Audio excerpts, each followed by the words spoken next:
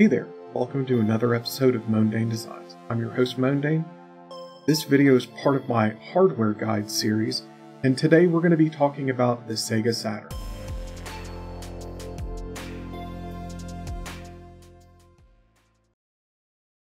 So, I'm discovering more and more that there are people out there that know less about the Sega Saturn uh, and how it's not exactly a common system for people to have in their collections. Uh, this actually surprised me quite a bit, uh, but me and my friends we were we were collecting video games and old systems and stuff like that um, back in the mid to late '90s. So my viewpoint is a little bit different. Uh, I was not exactly a day one subscriber to the Sega Saturn. I saw it day one, and then I saw the price tag. And back then, I was a little kid, and I didn't make enough that thing. Uh, I was I was scraping by on a Super Nintendo. Um, you know, I, and I'd never even really owned a, Saturn, uh, a Sega system at all. So, you know that that kind of sticker shocked me away from it originally. Uh, later, when I got into college, I started collecting, you know, I had a better job and I started branching out and collecting many, many more systems. And I'm happy to say that I collected a Sega Saturn, uh, like early 2000s, I believe. But uh, doing that, you know, at the time I actually worked at a used video game store and I got to learn a lot about the Saturn and how to take it apart and how to uh, swap power supplies and stuff like that. Yeah, very, very basic, you know, only turn screws and and like glorified part swapping kind of repairs. So I, I got to become, you know, fairly intimate with a lot of the inner workings of it. Uh, I'm definitely not an electrical engineer or anything like that, so I, you know, I don't know the the the proper amount of voltage and the ohms and all of that stuff. But I do know enough to help you at a help uh, all of my viewers or any other gamer out there that wants the help on a hardware guide of what to basically expect with these things.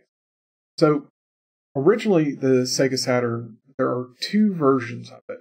And then there's more versions that have, you know, higher price, but your basic two are going to be the version 1 and the version 2. Version 1 have the oval buttons and uh, these are fairly reliable, with exception of their power supplies. I've heard a lot of people complain about how the power supplies on these get faulty very quickly, and how uh, the power supplies on these things start to run hot really fast. And yes, I've experienced that. I've seen lots and lots of these power supplies get way too hot very fast. And you know, it, it's a shame. I have to say that it's it's an absolute shame to watch a Saturn die because of power supply. Uh, the version two has round buttons. Uh, they also, you know, tend to be a little bit more reliable than the version ones, especially the power supplies. And you know, the the the ones in America were you know, only released in black for the most part there might be some sort of like super rare thing that I've never heard of, but you know what? I've never heard of it. Uh, now onto the controllers. The version one, guys, this is this is a bad controller. It's it's not great. I tried playing with one. Um, the way that the shoulder buttons kind of rock in and stuff like that, it just it didn't feel comfortable to hand. It looked more like someone had taken a superhero mask and decided to design a controller around it, and it just it doesn't doesn't feel right.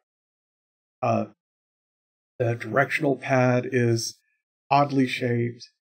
Um, honestly, if someone was going to sell me a Sega Saturn these days, and they included a free version 1 controller, I would tell them to keep the version 1 saved me money on shipping. I was buying it on. I just I don't like it. it it's just me.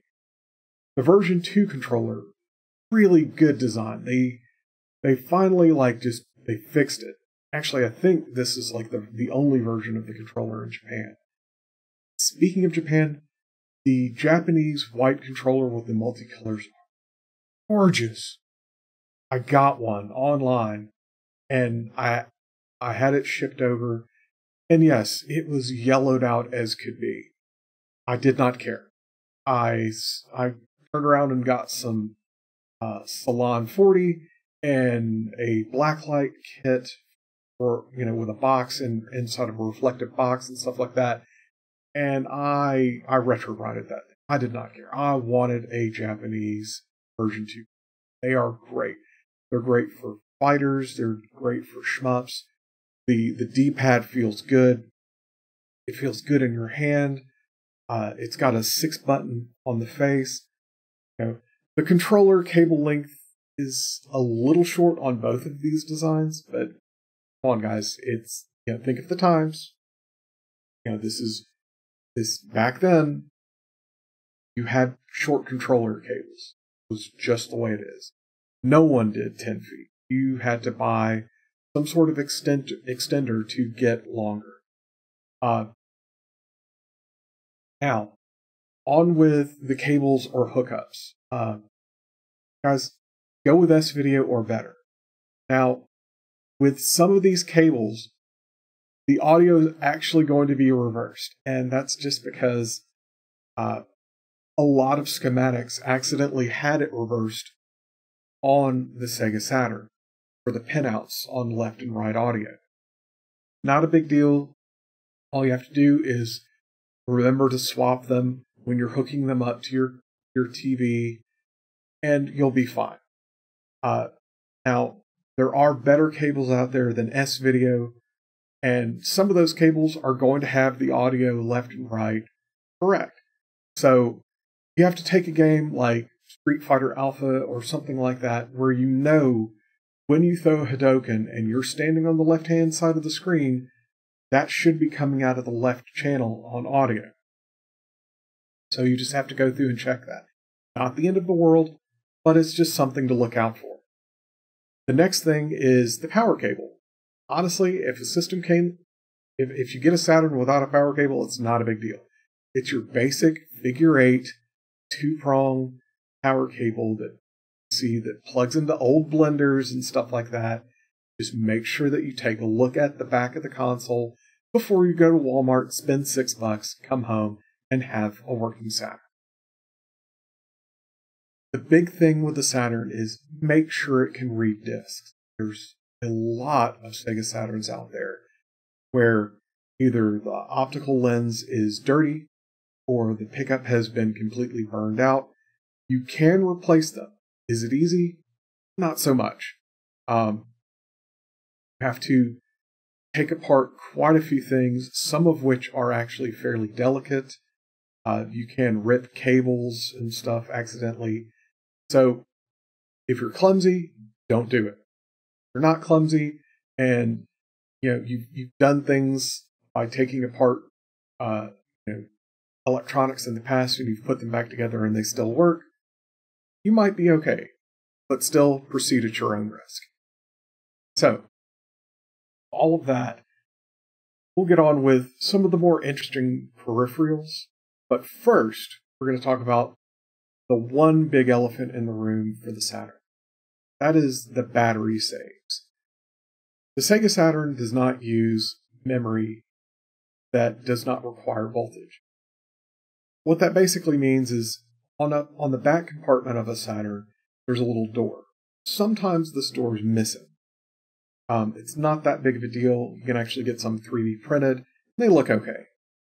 But behind that door is a CR32 battery. This battery is responsible for the clock and for keeping your game saves. This battery runs out really fast, especially if you leave the system and unplugged. Now, if you leave the system plugged up, it'll drain a little bit slower, but it'll still drain. Uh, this means that the Sega Saturn does take vampiric power. Basically, what that means is that when it's plugged up, it is constantly drawing a low amount of power to keep your game saves going. Now, there are modifications out there called the FRAM mod, where you basically take off the old chip for, for memory and you put a new one in. And I think it will save for, I don't know, like 30 years or something like that.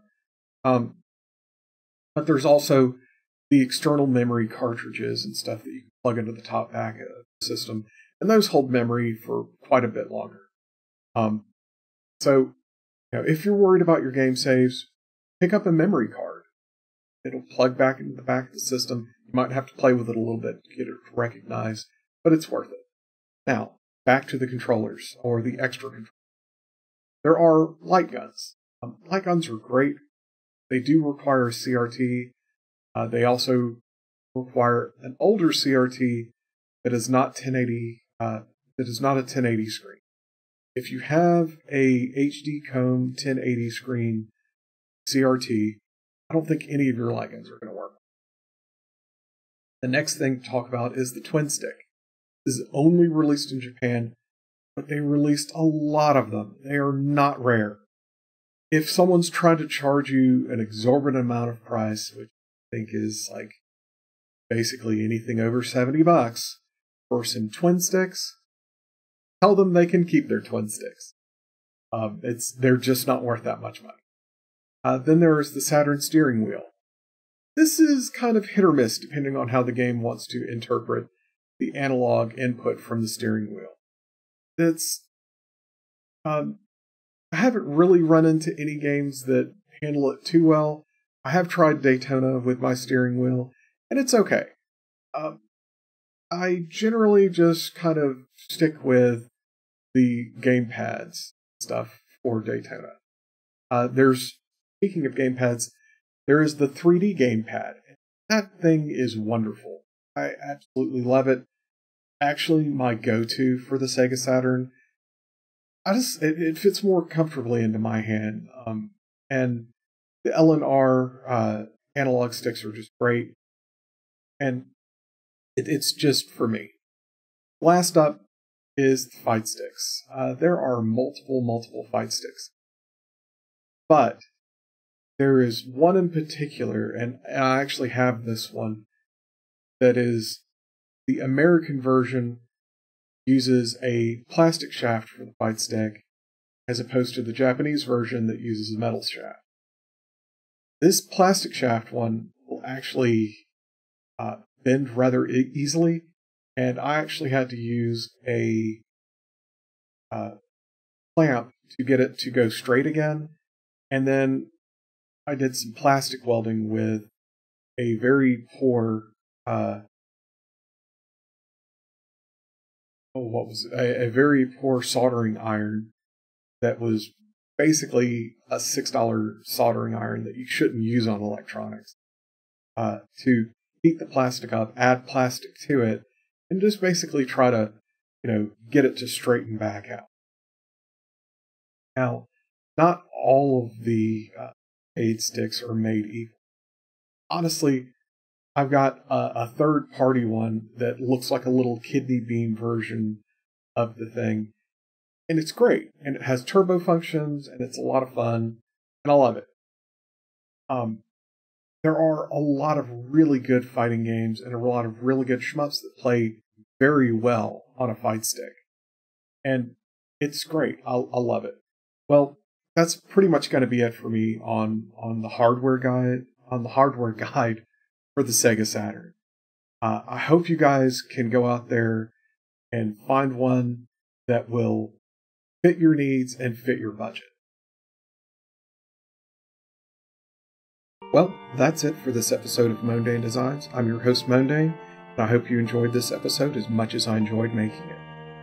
I have videos on the 1st and 15th of every month, and look forward to sharing them with you. As always, please like, comment, and subscribe, and have a wonderful day.